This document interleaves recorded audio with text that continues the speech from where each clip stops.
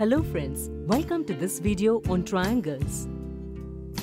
In the previous video, we discussed the angle-angle side or AAS congruence rule for triangles. Today we will discuss some facts related to that. Let's start.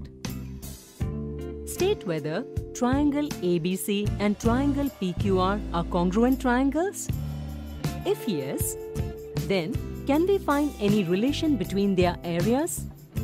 According to the figure, two pairs of their angles and one pair of their corresponding sides are equal. Therefore, by looking at equations 1, 2 and 3, we can say that both these triangles are congruent according to the angle-angle side criterion or AAS congruence rule. Friends, we know that corresponding parts of congruent triangles are equal. That is, these two triangles will overlap each other completely. Now we can say that these two triangles occupy the same space, so their area will be equal.